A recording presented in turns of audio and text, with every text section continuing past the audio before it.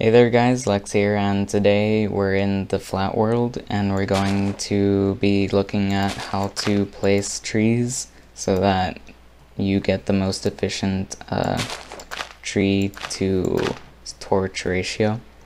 Uh, this um, layout ensures that each tree sapling immediately touches the torch and uh, to place the torches, what you want to do is you want to plop down your first one, and then from there you go over one block, and then you go over twice in the other direction. If you've ever played chess, then it's like a knight's move, that sort of L pattern, and you can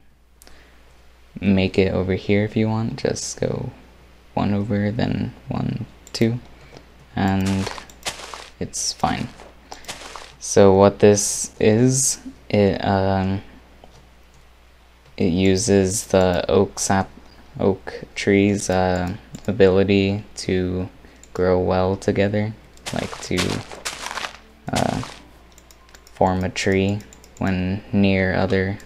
trees, and that makes it uh, pretty efficient and it doesn't use up a lot of land if that's what you're going for and you can set up a pretty good farm of wood and uh, leaves if you wish. But this was my video of how to place trees in the most efficient